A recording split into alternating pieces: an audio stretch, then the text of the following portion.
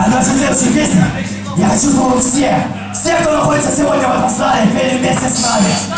Это вам понадобится знать всего лишь три простых слова.